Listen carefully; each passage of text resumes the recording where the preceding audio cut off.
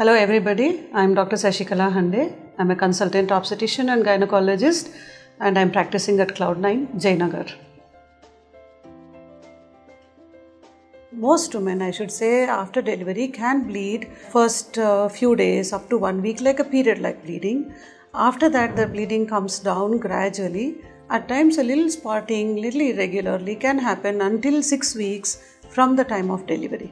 Now, this is related to your uh, childbirth, and this is not called periods because a lot of women think this is their periods. So, after this um, happens, uh, that is six weeks postpartum period, is when you get back to your pre pregnancy status.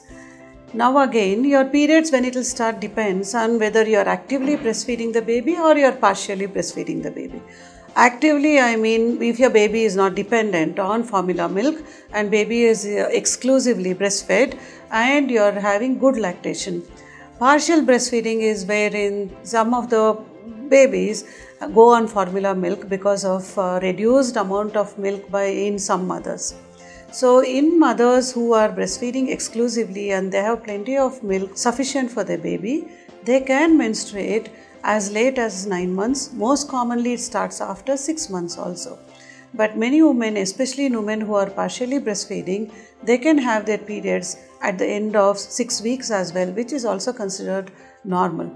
Now, again, once the first period starts, the next few periods could be a little irregular, but as long as uh, you're following some contraceptive method so that you don't get pregnant during this period, it doesn't matter even if your periods are slightly irregular until 9 months after your uh, delivery.